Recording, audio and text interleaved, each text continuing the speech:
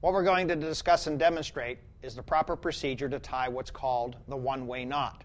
The one-way knot is nothing more than first starting off with a figure of eight knot by forming our round turn, coming around the back side of the standing part of the rope, another round turn, and then back through the front side of the original bight to form the figure of eight.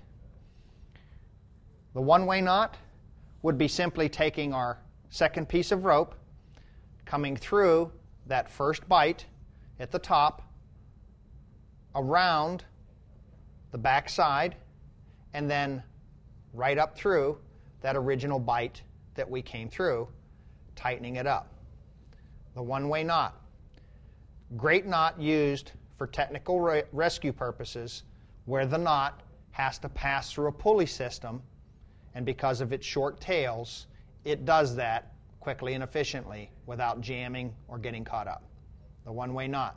Great knot for technical rescue.